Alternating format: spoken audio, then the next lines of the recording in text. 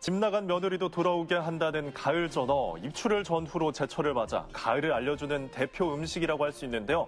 이미 곳곳에서 전어 축제가 한창입니다. 고소한 가을 전어 못 먹으면 한겨울에 가슴이 시린다는 말도 있으니까 꼭 가을 지나기 전에 맛보셔야겠죠. 한여름 귀가 찢어지게 울던 매미 소리가 잦아들면 귀뚜라미 울음소리가 들립니다. 이때 많은 분이 가을이 왔다고 생각하실 텐데요. 기분 좋은 선선한 바람과 함께 가을밤에 들려오는 귀뚜라미 소리는 한층 깊어가는 가을을 느낄 수 있게 해줍니다. 유난히 높고 푸른 하늘도 가을을 알려주는데요.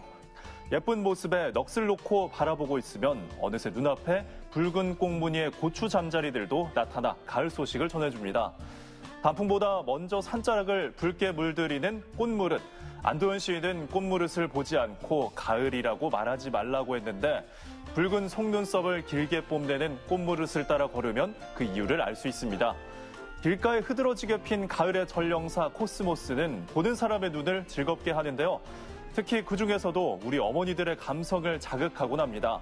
함께 사진을 찍는가 하면 찍은 사진을 가을맞이 프로필 사진으로 변경하기도 하는데요.